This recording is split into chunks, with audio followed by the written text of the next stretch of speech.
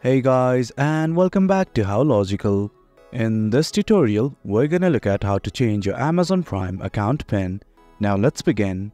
Well as you can see, I've already gone to Prime Video and right here this is the interface.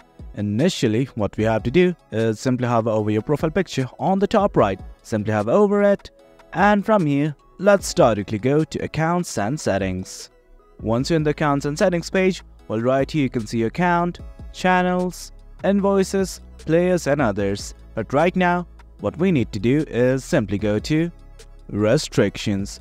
Well right here at the very top, you can see something like Prime Video Account PIN and right next to it, on the same tab at the bottom right, you'll see something like Change.